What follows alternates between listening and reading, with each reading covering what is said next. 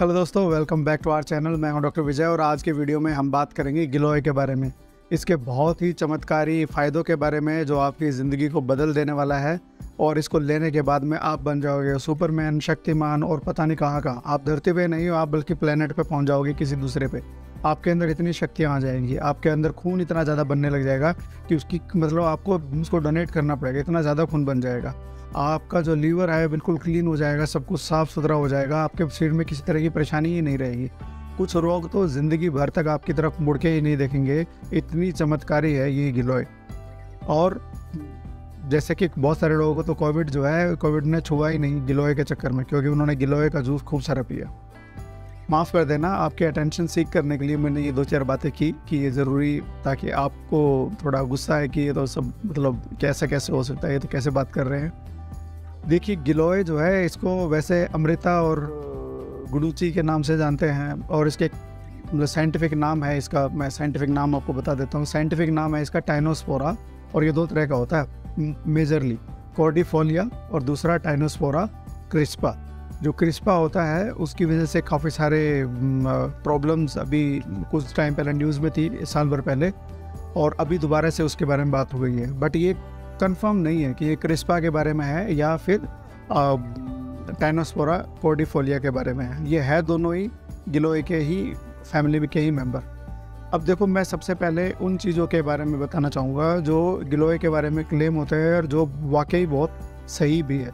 ये वीडियो बनाने का पर्पज़ किसी को क्रिटिसाइज़ करने का नहीं है कि गिलोए के बारे में आप इतना कुछ कह रहे हो, बल्कि हमारे गवर्नमेंट की जो आयुष मिनिस्ट्री है, वो खुद गिलोए के बहुत सारे जो बेनिफिट है नेचुरल बेनिफिट्स है, उसके बारे में बताते हैं और बहुत सारे अच्छे तरीके से बहुत सारे लोगों में इम्यून बूस्टर की तरह काम करते हैं। लेकिन वो आपको ये भी बताते हैं कि आपको कितना लेना है, क्योंकि अगर उससे ज़्यादा लेंगे तो जो इम्यून आपका बूस्ट होना है, ये उसी का बैंड भी बजा देगा। और ये गिलोय नहीं, ये सभी चीज़ों पे लागू होता है। जो चीज़ आपको बहुत सारे फ़ायदे देती है, एक ज़रूरत से ज़्यादा, आवश्यकता से ज़्यादा या जितना लेना चाहिए, उससे ज़्यादा अगर आप लेते हैं तो आपको बहुत ज़्यादा नुकसान करता है और गिलोय भी इससे में कुछ नया नहीं है। ये भी अगर आप ज़्यादा अमाउंट में लेते हैं, सही तरीके से नहीं लेते हैं तो आपको काफ़ी नुकसान पहुँचता है। वीडियो बनाने का मकसद सिर्फ़ इतना ही है कि जब हम लोग बात करते हैं नेचुरल प्रोडक्ट की और नेचुरल प्रोडक्ट से रिलेटेड वीडियोज़ पोस्ट और कुछ भी प्रमोशन जब पढ़ते हैं तो हम सोचते हैं कि ये नेचुरल है, शरीर में कुछ भी नहीं करेगा। तो ये सबसे बड़ी गलत है और मुझे तो पर्सनली इसी चीज़ पे सबसे ज़्यादा ऑब्जेक्शन है। कि चाहे वो नेचुरल है, चाहे वो मेडिकेशन मेडिकेशन का तो एक कम से कम इतना तो है कि आपको डोज पता है कि पाँच ग्राम, दस ग्राम। मैं एक पहले भी अपनी वीडियो में बात करता रहा हूँ इस बारे में।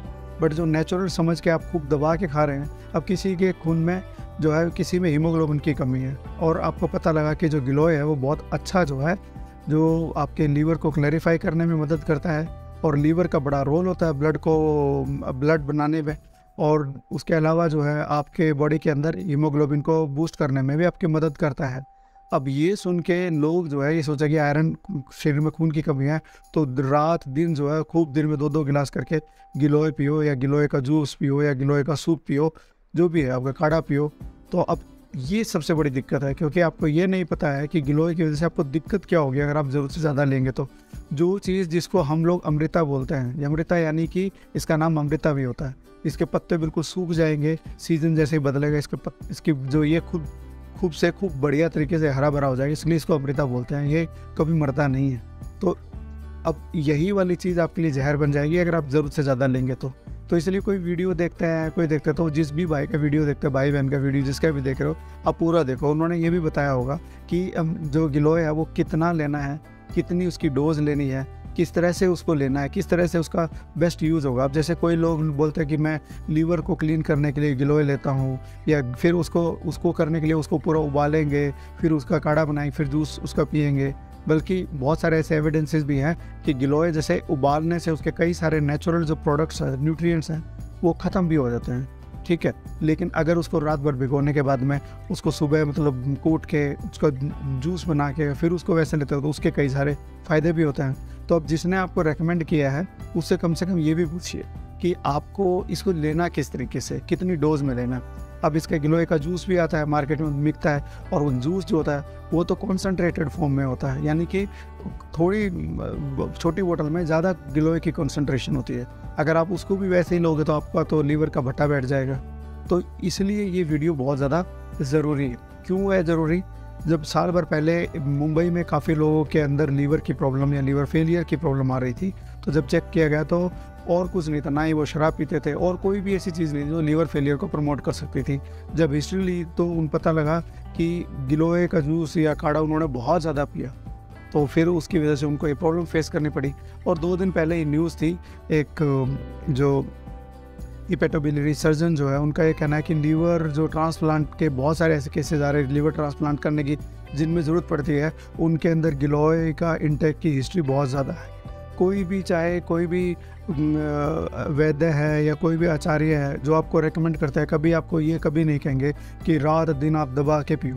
उन्होंने भी आपको एक डोज बताई होगी। उन चीज़ों को आप उसी तरह से फॉलो करो। ज़रूरत से ज़्यादा लेके तो बहुत दिक्कत होगी। क्यों होता है? क्योंकि गिलोइड जैसे, अब गिलोय जो है, अब हम बोलते हैं कि नॉर्मली हम लोगों की धारणा होती है कि जो चीज़ पीने में या नेचुरल चीज़ कड़वी होती है तो वो जो है हमारे लिए बहुत अच्छी होती है बट वो एक लिमिट में। तो अब जैसे गिलोय के अंदर एल्कोलॉइड्स होते हैं, और वो जो है कई बार अब ज़रूरत से ज़्यादा आपके बॉडी में जाएगा, अब थोड़ी अमाउंट में जाएगा तो लीवर को सपोर्ट करेगा। अगर वो वही से वही से बहुत ज़्यादा अमाउंट में जाएगा तो फिर वो आपके लीवर को बहुत ज़्यादा नुकसान पहुंचाएगा। लीवर के लिए बहुत ज़्यादा टॉक्सिक हो जाता है लीवर काम करना बंद कर देता है।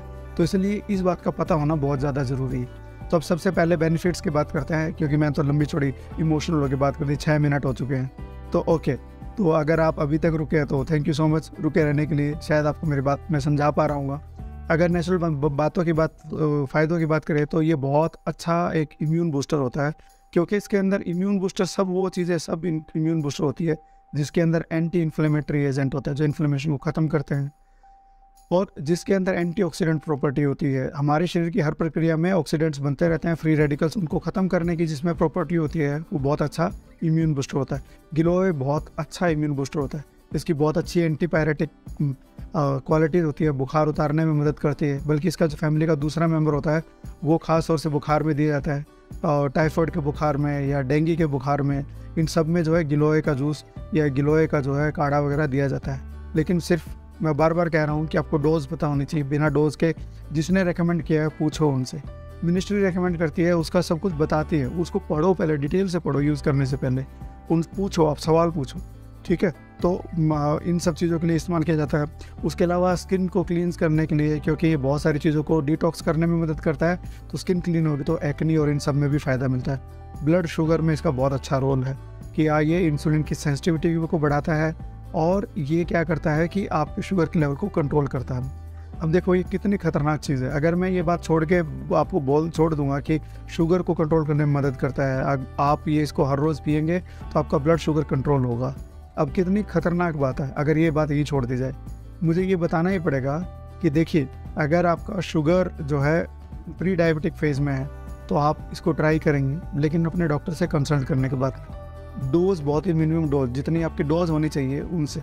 आयुर्वेदिक एक्सपर्ट से मिले क्योंकि आजकल है ना यूट्यूब पे सब लोग आयुर्वेदिक एक्सपर्ट बन गए हैं, और उनको पता नहीं है कुछ भी उसके बारे में।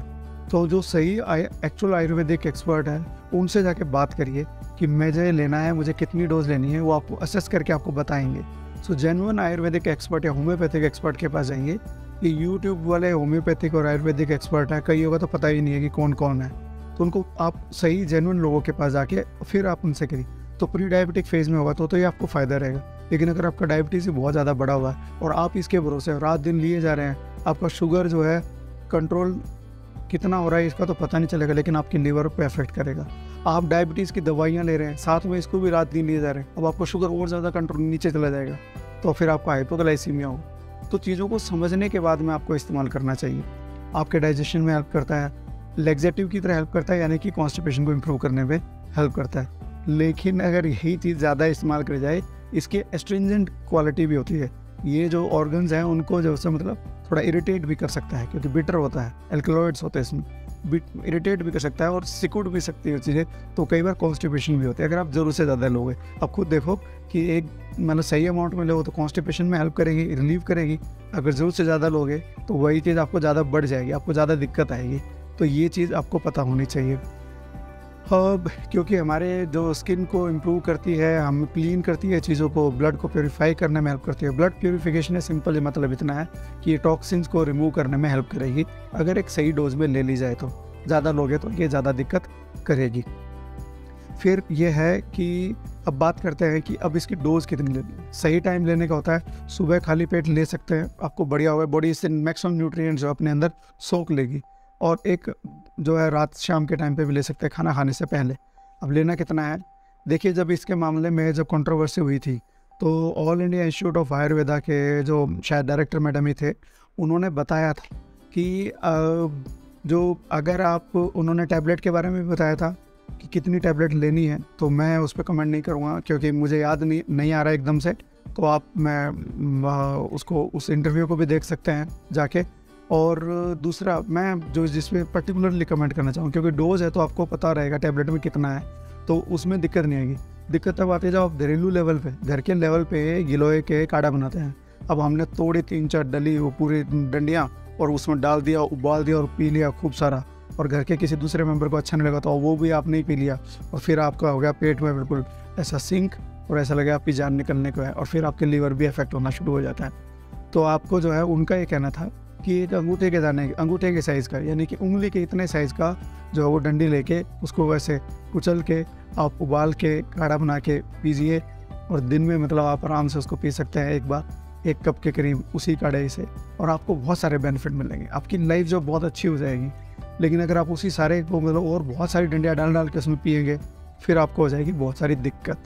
तो इसलिए दोस्तों किसी को ऑफेंड करने का बिल्कुल पर्पज़ नहीं था। आ, मैं भी यूट्यूब पे वीडियो बना रहा हूँ विद दिस एक्सपेक्टेशन कि लोगों को, कुछ परसेंटेज लोगों को इसका बेनिफिट मिले।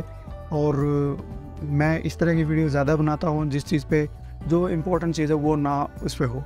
अब बात करते हैं कि काढ़ा जो जूस पिया है, वो जो मैडम जो बोला था उन्होंने तो वो तो बोल रहे थे कि पाँच एम तक। पाँच एम तक जो है, आप इसका जूस ले सकते हैं दिन में एक बार या दो बार तक। इससे ज़्यादा नहीं। एक बार खाली पेट या शाम को। तो सबसे बढ़िया टाइम तो होता है खाली पेट लेने का। ठीक है, ये मैं, देखिए, हम, मैं प्रैक्टिस नहीं करता इस चीज़ को बट मैं इस चीज़ से वरीड हूँ कि लोगों का जो है लीवर अफेक्ट हो रहा है, इसलिए मैंने इसके बारे में जितना लिटरेचर पढ़ा है, उस लिटरेचर को समझने के बाद में मैं आपको ये वीडियो आपके सामने सर्व कर रहा हूँ। So please take it with pinch of salt I am not the ayurvedic और होम्योपैथिक एक्सपर्ट सो मैं इसके बारे में बहुत ज़्यादा बूस्ट नहीं कर सकता, लेकिन जो इश्यूज़ आए हैं, उसको मैंने एड्रेस करने के लिए जितना मैक्सिमम लिटरेचर था, वो पढ़ा है और वो मैं आपको इस बारे में इसको बता रहा हूँ। जब कंट्रोवर्सी हुई थी, तब ये भी बात हुई थी कि जो गिलोय होता है दो टाइप का होता है।